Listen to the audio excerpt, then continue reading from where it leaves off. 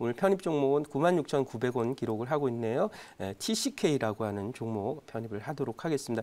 이 종목은 차트를 잘 보면은 거의 그 테크인과 거의 유사한 그런 패턴을 갖고 있는데 사실상 이제 고가를 돌파한 그런 상태고 월봉상으로 보시면 아시겠지만 완전 신고가예요. 오늘.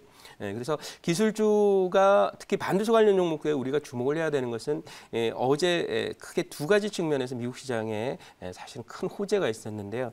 예, 첫째는 바로 이 모더나라고 하는 백신 개발이 예, 이제 임상 삼상에와 있기 때문에 곧 9월 정도부터 아마 생산이 시작돼서 어, 일반에 배포가 될 것이라고 반, 예, 생각이 되고 있고요. 접종이 나오겠죠.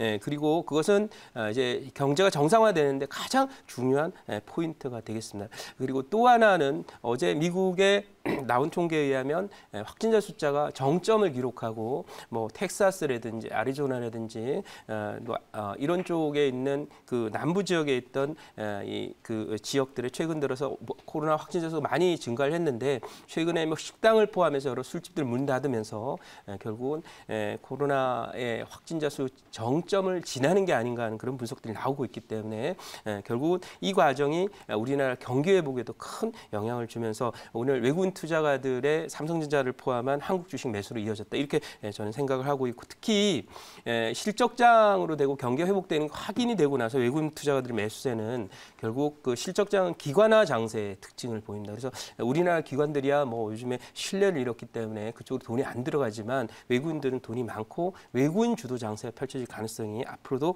좀 열려 있지 않나 이렇게 생각을 합니다. 그래서 그런 관점에서 기술주들 예, 완전 신고가를 기록한 이 TCK 이거 어, 더 이상이 뭐 이 소위 에, 위에 매물이 있긴 하겠지만은 뭐 잠재 매물이 늘 있을 수 있는 거죠. 많이 오르면. 하지만 에, 이런 기술주들 신고가 간 종목 테크잉도 월덱스도 PSK도 함부로 팔면 어, 이 팔고 나서는 다시 살 수 없는 그런 에, 영역에 와 있기 때문에 에, 계속해서 좀 기대를 해봐도 좋다 이렇게 말씀드리고 어, 경기 흐름 에, 그리고 어, 아까 말씀드렸던 인텔의 이런 그 어, 삼성 반도체로의 비메모리 쪽에 그 파운더리에 대한 CPU 어, 어, 주문 가능성 이런 부분들을 함께 생각할 때 앞으로 경기 관련주의 뭐 대형 네, 거대 주도 섹터는 반도체 주가 되지 않을까 이렇게 생각을 하고 있습니다. 그래서 오늘 TCK를 갖고 왔다 이렇게 말씀드리고 이 TCK는 좀 내용 설명을 좀 해야 되겠죠.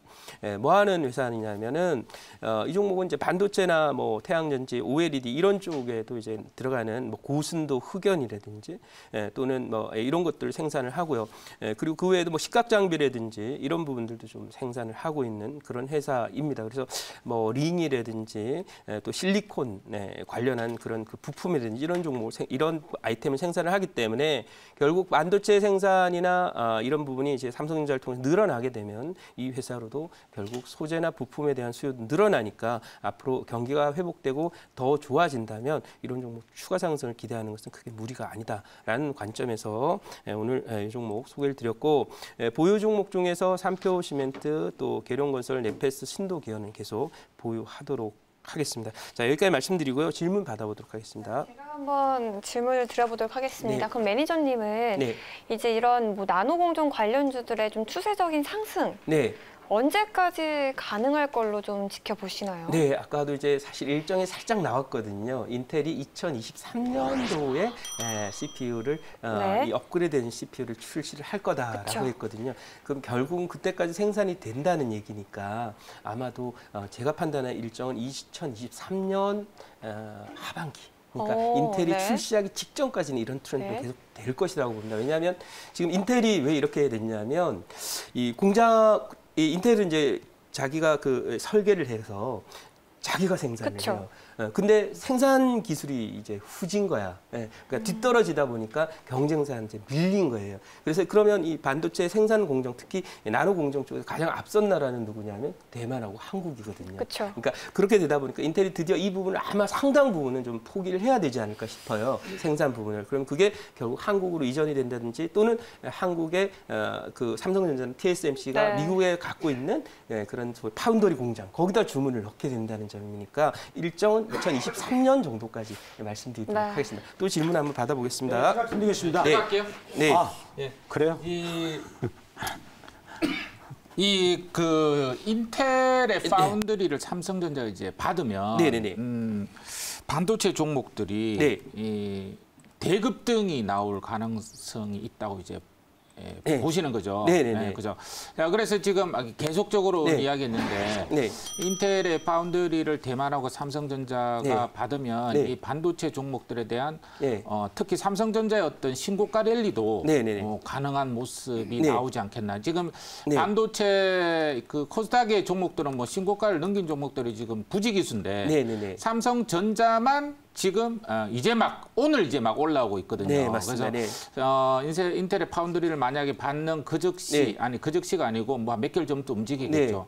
신고가 경신의 가능성에 대해서는 예, 네, 또 아, 어떻게 예, 좋은 지적이신 것 같고, 이 결국 이제 신고가가 간다면은 상승 기간하고 사이클이 음. 좀 필요하지. 삼성전자는 이제 첫 번째는 사이클 상으로 아까 말씀 2023년까지는 상당히 긍정적으로 본다. 뭐 더불어 요즘에 뭐 통신이나 이런 부분에도 삼성으로 좀 화해해서 넘 어오는 음. 부분도 있고 하니까 에, 그런 요소가 있고 이 삼성전자가 최근에 못 갔던 것은 결국 수급에 있다 이렇게 저는 사실은 생각하거든요. 왜냐하면 예, 이거는 워낙 크기 때문에 예, 외국인이 사주거나 아니면 기관이 꾸준히 한 100일 정도 한 어, 적어도 한 10조는 사줘야 될 텐데 그게 없었는데 오늘 드디어 외국인들의 매수가 현재 어 지금 예, 숫자를 좀 자세히 봐야 됩니다만 외국인들의 현재 매수가 아까 들어오기 전에 8천억이었는데 지금 8,600억까지 예, 코스피 순매수가 들었거든요. 삼성전자에 집중된다고 보고 있고요. 예, 그러니까 갈 수 있다고 보고 신고가 가능성도 충분히 가능하다. 왜냐하면 이번 경기 사이클이 이제 저점이 나왔다고 본다면 어 아마 2022년 9월 정도까지는 상승 사이클이 나올 거니까 어 그러니까 그 정도까지는 간다면 삼성전자가 지금 신고가 가려면 이게 고가가 여기거든요. 6만 한 4천 원 정도 되니까 어, 목표치 타겟 목표치 예, 최소 목표치 6만 7천 원 정도까지 보이지 않나. 그 정도가 충분히 가능하다. 이거는 큰 트렌드다 이렇게 보겠습니다. 네, 또 질문 있으시면 질문 받겠습니다. 네, 네. 그 이번에 그 소식을 들어보니까 네. 그 퀄컴이 네. 그 삼성전자에게 그 이제 칩에 대해서 foundry를 맡겼다. 네, 네, 네. 그리고 이제 또 이번에 미, 미국과 중국이 네. 지금 무역 갈등이 심하잖아요. 네, 네, 네. 이제 기존에는 전에는 이제 후공정 이 테스트나 네네네. 이런 부분에 대해서는 이제 그 주로 중국 업체들이 담당했는데 네네네.